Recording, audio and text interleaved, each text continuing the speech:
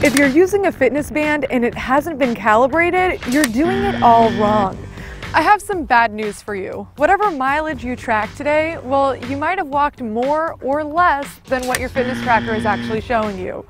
That's because by default, trackers calculate the distance by multiplying your walking steps and walking stride length. And stride length is set by using your height and gender. So if your tracker guessed your stride length wrong, then your distance is wrong too. The good news is that if all you care about is how much you're walking relative to yesterday or tomorrow, then your tracker isn't really letting you down. But if you're like me and you want your fitness data to be exact, then you'll have to calibrate your device. The way you do this depends on what tracker you're using, but here's how to do it for Fitbit. Head over to a place where you know the exact distance, like a track. Now walk that distance and count your steps.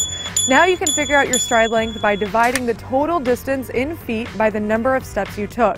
When you have that number, head to your Fitbit dashboard and update your new stride length. If you have an Apple Watch, check out Dan Graziano's how-to on calibrating it. And now you're doing it right.